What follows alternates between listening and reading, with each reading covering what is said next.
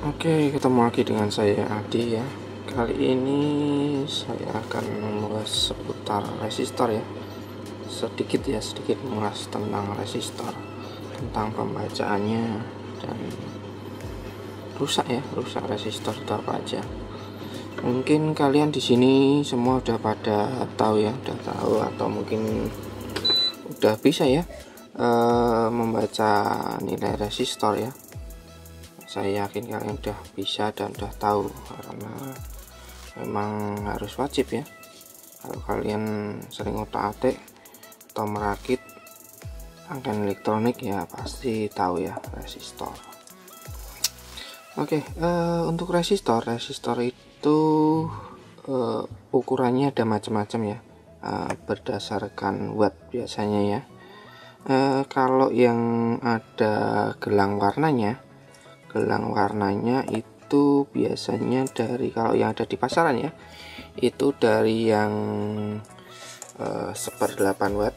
Seperdelapan seperdelapan uh, sampai 2 watt itu yang ada gelang warnanya ya. Nah, ini saya ada beberapa contoh ini. Nah, ini ini yang setengah watt ya seperdelapan kebetulan saya nggak punya karena memang jarang beli ya. Ini yang seperempat seperempat watt nah ini ada gelang warnanya terus ini ada yang eh, setengah setengah nah, seperti ini ya. Nah ini setengah watt terus satu watt satu watt tulan saya tidak punya. Ah ini ada saya punya dua watt. Seperti ini ya ukurannya. Itu fisiknya bedanya. Nah, seperti nah, beda ukurannya ya nah, seperti ini. Oke terus kalau yang di atas ini itu biasanya tidak menggunakan gelang warna ya. Uh, ini setelah itu biasanya yang 5 watt. Nah 5 watt di sini. Itu dia untuk keterangannya udah ada di bodinya ya. Berapa ini? 5 watt. Nah, berapa ohm ini? 0,5 ohm ya. Nah, udah tertera atau bisa juga seperti ini. Ini yang 10 watt ya. 10 watt. 10 R. Nah, 10 R ini ohm ya. Nah, jadi tulisannya R atau ohm seperti ini, ini kalau ohm. Kilo ohm ya kilo ohm ya biasanya Oke, uh, ini nah, di sini saya punya gambar ya, gambar tabel warna, tabel warna ini yang ada di pasaran itu biasanya adalah dengan gelang kode warna 4 ya 4 gelang dan 5 gelang ya yang ada di pasaran. Dan untuk yang 4 gelang itu adalah toleransinya kebanyakan itu 5% terus yang 5 eh, gelang itu satu persen ya. Toleransi itu apa nanti? Ini sementara kita bahas dulu masalah warna Oke, saya juga yakin kalau kalian udah bisa ya, udah apa mengenai warna-warna kode warna ini ya. Kode warna hitam, coklat, merah, oranye. Nah, itu kalau belum ya ini. Silahkan kalian pause aja ya. Stop aja. Nah, kalian pause nah, ini warnanya keterangannya seperti ini atau bisa kalian googling aja ya. Googling. Uh, ini ya cara membacanya ya ya. Gampang cukup gampang. Itu gelang satu dan dua untuk kode eh, satu. Gelang 4 ya. 4 itu warna 1 2 itu adalah menentukan angkanya. Hanya sedangkan untuk eh, gelang ketiga itu menunjukkan pengalinya ya. Atau mungkin di sini bisa dilihat 1 ohm atau 10 ohm 100 ohm nah ini juga pengalinya. Terus kode keempat itu gelang-gelang warna. Kan udah gelang-gelang warna. Empat itu toleransinya. Sedangkan yang gelang lima warna itu 1 2 3 itu menunjukkan angkanya nilainya. Dan satu eh, 4 itu ada pengalinya ya. Dan yang kelima itu ada toleransinya toleransinya ini saya ada contoh ini contoh ya gambar ya seperti ini misalkan. Itu hijau biru kuning ini emas ya mas. Untuk gelang empat warna itu biasanya uh, toleransinya 5% nah, ada di pasaran. Nah, ini kita coba ya. Cara membacanya uh, 4 uh, uh, hijau. Hijau itu 5 ya 5 biru biru itu 6 nah, 5 6 terus di sini ada kuning. Kuning itu adalah kilo ya 10 kilo. Nah tinggal kalian kalikan aja. 56 eh, kali 10 kilo. Nah, jadinya ada 500 kilo ohm uh, terus ini toleransinya 5% ya. Sini 5% nah ini untuk uh, resistor 5 gelang itu kebanyakannya ya bukan kebanyakannya memang di pasaran itu adanya satu persen. Toleransi satu persen. Ini contohnya ya. Warnanya merah oranye ungu hitam. Ini apa ya ini? Ah, jelas ya. Nah, toleransi coklat harusnya coklat ya. Coklat coklat satu oke ini coba kita baca dulu aja. Memang agak sulit ya kalau toleransi eh, gelang lima warna. Itu pembacaannya memang agak sulit. Karena warnanya itu nah, contohnya ini juga ya yang asli. Itu warnanya nah seperti ini ya. Jadi tidak terlalu terang juga.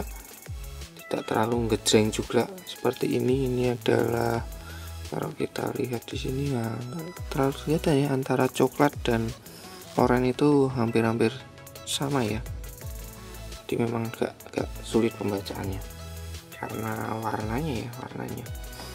Oke di sini. Di memang sudah ada keterangannya dua dua berarti ini merah ya merah betul. Merah oranye. Oranye itu tiga. Ini ungu ungu ya. Ungu tujuh. Hitam itu satu ya satu berarti kali satu dua tiga tujuh dua ratus tiga puluh tujuh om satu persen. Ya, satu persen. Nah, sama ya seperti ini. Nah, jadi gimana cara pembacaannya?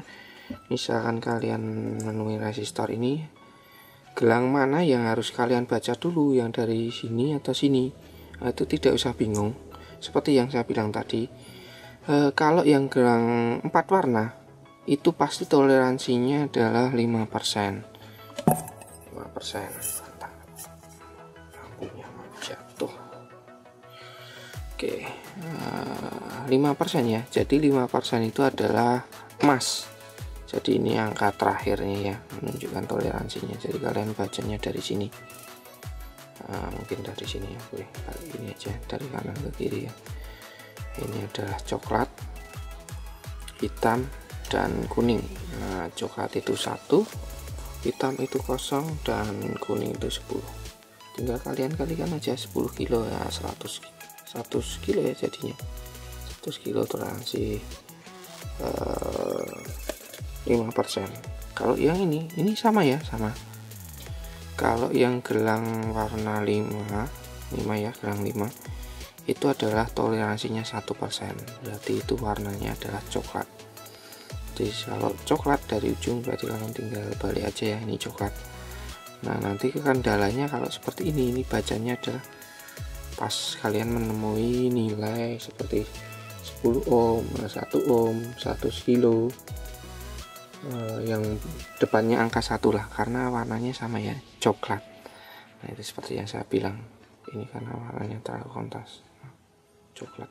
Jadi kalian tidak usah bingung tinggal dilihat aja dibulak balik aja kira-kira angkanya yang menunjukkan realistisnya yang mana ya. Hmm, memang agak sulit kalau depannya satu ya. Tapi kalau depannya dua seperti dua, dua kiloan 20 kiloan ke atas dan seterusnya ya itu baru gampang kita menentukan mana yang harus kita baca dulu. Seperti ini ya. Ini sebelah sini. Ini coklat depannya coklat ini terus apa nih? Orange ya orange. Coklat orange. Oh, apa nih? Apa saya kebalik? Oh terbalik saya bacanya. Dari sini. Coklat nah, hitam hitam orange ya. Coklat hitam hitam orange. Oke coklat. Coklat hitam-hitam 100 orange. Orange 1 kilo ya.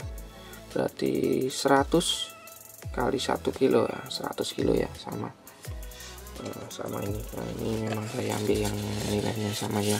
Karena untuk uh, biar kalian paham nanti apa itu toleransi. Nah oke. Okay. kurang lebih seperti itu untuk pembacaan warna ya warna. Jadi kalian memang harus hafal uh, nilai-nilainya ini ya nilai-nilainya uh, warnanya bukan nilai warnanya karena nanti berhubungan dengan kalau kalian untuk mengetes ya. Jadi kalian harus tahu oh ini sekitar satu kilo atau 100 kilo jadi saat kalian mengetes itu untuk mengetahui apakah resistor itu mati atau tidak ya. Uh, tapi kalau kalian tidak hafal atau tidak mau menghafalkan ya uh, resistor ini atau lupa kalian bisa juga ya. Karena sekarang zaman udah canggih ya jadi kalian bisa uh, apa? Bisa download aplikasi di Playstore ya. Oh, ini ada yang bertanya di YouTube. Oke nanti aja saya di Playstore silahkan buka aja Playstore nah, kalian tinggal cari aja ya. Resistor ya. Kalian ketik resistor. Resistor. Tes resistor oke okay. Nah itu banyak sekali ya aplikasinya ya untuk membaca nilai resistor. Nah seperti ini. Hmm, banyak ini saya udah punya satu contoh aplikasi yang download seperti ini. Nah ini ya gelang lima warna, empat warna ini tinggal kalian masukkan aja warnanya apa nanti dia langsung menunjukkan nilainya yang lebih enak ya. Kalau kalian lupa tapi saya sarankan kalian hafal aja membaca. Nah, itu wajib juga. Nah, kalian bawa nah, ini seperti ini. Download aja aplikasinya banyak. Oke selanjutnya uh, sebelum saya bahas toleransi itu kerusakan yang sering terjadi di resistor. Bukan sering terjadi ya yang biasa rusak ya. Resistor itu adalah putus atau mulur nilainya. Mulur. Putus. Nah, kalau putus itu bisa kalian lihat ya dari warna. Misalkan ini 100 kilo eh, terus kalian cek dengan multitester ternyata jarum tidak bergerak sama sekali. Nah itu berarti putus. Putus. Terus kalau mulur nah mulur gimana cara kita tahu resistor itu nilainya mulur eh, resistor nilainya mulur. Nah seperti yang di sini ada toleransi ya. Toleransi 5% dan 1% maksudnya apa? Toleransi itu ada batas dari ukurannya ada di sini toleransinya nilainya perubahannya eh, itu adalah 5% di atas atau di bawahnya. Nah, misalkan ini. Nah, misalnya kan dulu ya. Ya toleransinya. Ini untuk mudahnya pakai di aja ya untuk ngecekkan kalau ini karena harus kita hitung ya satu kali berapa kali tapi nanti kita coba juga. Nah toleransi ya ini. Nah ini yang 5% itu yang disebut toleransi batas atas dan bawahnya. Nah di sini ditunjukkan 96,8 nah itu nilainya ini harus eh, toleransinya itu sampai maksimal batasnya adalah sekitar 5% kalau di bawah ini sampai 6% berarti dia uh, disebut uh, sudah mulur ya. Atau kalau di atas misalkan 105% nah, kita hitung-hitung aja ya. Nah, misalkan ini 100 kilo gampangnya ya kita kali 5% sama dengan seperti ini. Nah berarti toleransinya ada sekitar 5 kilo. Kalau ini 100 kilo berarti dia kalau nilainya di bawah ini 96,8 berarti dia tidak kalau udah di bawah 95 kilo berarti dia dianggap mulur. Biasanya kalau resistor mulur itu mulurnya agak banyak ya. Bisa sampai 10 kiloan atau bahkan lebih. Atau kalau ini 100 ya di atas 105 itu udah mulur ya udah nilainya udah berubah ya mulur ya. Kalau istilahnya mulur lah di sini atau molor atau udah berubah lah toleransinya. Nah ini yang eh, 5% kalau yang 100% ya kita kalikan aja. Berarti satu persen ya satu satu persen dari 100 kilo itu satu kilo ya. Berarti tidak boleh melebihi satu kilo. Misalkan 100 ya 100 satu batas maksimal toleransinya. Kalau lebih dari itu berarti dia udah mulai seperti ini ya 100,7 ya. 100,7 kalau dia lebih dari 101 nah itu berarti udah mulur atau di bawahnya di bawah 99 kilo itu udah mulur nah, perbedaannya itu ya. Nah kalau resistor 1% ini biasanya dipakai untuk uh, uh, rangkaian yang membutuhkan keakuratannya. Nilai ya misalkan memang harus butuh akurat biasanya kebanyakan menggunakan nilai yang eh, satu persen ini ya karena memang toleransinya ya dilihat kan beda banget ya. Seperti ini jauh sekali dari apa yang tertera di sininya ya tertera di tertulis di gelangnya itu. Nah, ini sampai 96 ini aja udah 100 ya 100 kilo di apa yang tertera di sini itu jauh sekali sampai batasnya 5 kilo. Jadi bagus mana yang pakai? Akses tinggal kebutuhan ya. Bagus yang mana ini pak tinggal kebutuhan. Nah, itu tadi ya. Nah, kalau menggunakan multitasker di kita kurang lebih seperti itu. Tapi kalau gimana kalau kita mengetes dengan ini? Gimana kita mengetahui itu mulur atau tidak? Kurang lebih sama. Sama ya apa yang ditunjukkan nilai di sini itu akan tertera di angka sini misalkan ini 100 kilo. Ini berarti pakai skala 10 kilo ya K K ini kilo kilo ohm atau kali 10 kilo ohm. Sama aja. Nanti tinggal kalian-kalian ya menunjukkan ke nilai jarum ke mana uh, misalkan 10 kilo di sini. Ya ini pergeserannya aja. Kalau udah kalau toleransi 5% ya tadi kalau udah uh, turun lebih dari berapa baris uh, berarti itu dianggap mulur itu aja. Nah, pengalaman saya seperti itu. Jadi uh, ini nilainya sekian kilo tapi turunnya biasanya kalau mulur itu di tester itu turunnya drastis ya berbeda apa beda. Agak uh, banyak biasanya memang agak banyak itu tadi ya toleransi. Nah, kurang lebih seperti itu. Nah, jika ada yang kurang mungkin bisa ditambahin nanti. Uh, terus kalau rusak resistor itu bisa menyebabkan kerusakan macam-macam ya. Kita tidak bisa memprediksi macam-macam. Tergantung digunakan di bagian rangkaian mana. Bagian rangkaian apa? Ya kalau untuk supply penghambat nah, untuk pembatas tegangan atau arus dia menyebabkan ya tegangan supply-nya terganggu. Nah, tinggal kebutuhan yang dipakai. Seperti contoh-contoh yang ada di video saya mungkin nanti saya sertakan di pojok sini hasilnya di akhir video. Uh, beberapa waktu lalu ya saya upload video uh, power ya power soundcraft kalau nggak salah itu. Uh, oh sound standar sound, sound standar kalau nggak salah. Itu rusak resistornya ya? Nah itu sepele itu resistor 100 kilo. Uh, mati putus ya. Itu menyebabkan gangguan protek dan overclip nya padahal kalau protek berarti kemungkinan adalah indikasi kalau powernya terbakar ya biasanya seperti itu. Tapi ini tidak nah, jadi bisa menyebabkan macam-macam ya kerusakan resistor. Tapi di sini saya jarang sekali jarang sekali uh, menemukan atau uh, saat memperbaiki itu kerusakan pada resistor terutama yang resistor mulur ya. Banyak misalkan saya memperbaiki biasanya resistornya mati. Tidak mulur ya tapi uh, mati jadi kerusakan seperti itu. Putus biasanya. Penyebabkan putus uh, banyak macam-macam. Bisa juga karena apa ya uh, resistornya yang memang udah lemah.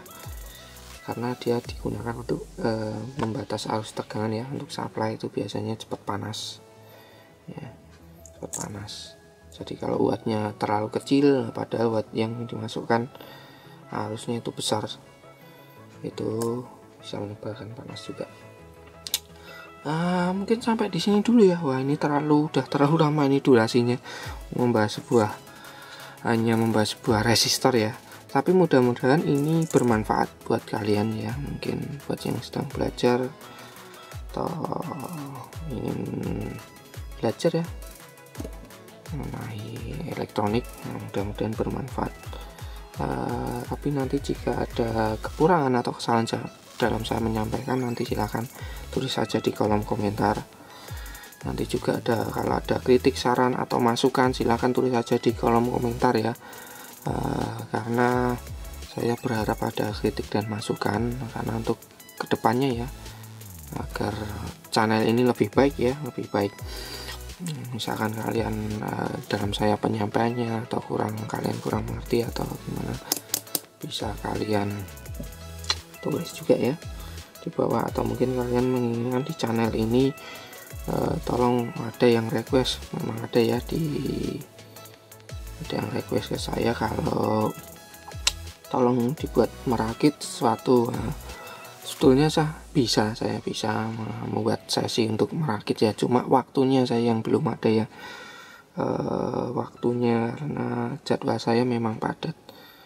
Karena saya pagi sampai sore itu harus servis ya dan dan dan, dan nanti malamnya saya harus uh, ngedit video. Saya harus mengurusi toko online seperti itu. Saya harus ngupload juga jadi banyak jadwal. Seperti ini saya memang uh, untuk membuat tutorial apa ini saya sempatkan ya. Nah, ini aja udah malam nih. Udah jam 1 lebih. Eh jam 12 lebih ya. Jam 12 lebih. Nah, saya sempatkan membuat tutorial tapi nanti saya atur dulu jadwalnya ya. Jadwalnya jadi nanti ada sesi kemungkinan akan saya tambah untuk uh, untuk uh, merakit ya merakit dan tutorial lainnya ya. Atau mungkin juga uh, Arduino juga ada yang merequest dari teman saya juga untuk membahas soal Arduino. Ya nantilah bisa. Oke okay, uh, ya ketik sarannya ya atau masukannya. Penting buat channel ini saya untuk ke depannya Oke, sampai ketemu di video selanjutnya ya. Nah, jangan lupa like-nya, subscribe juga, uh, share juga ya, biar bermanfaat buat yang lain juga. Oke, sampai ketemu di video selanjutnya.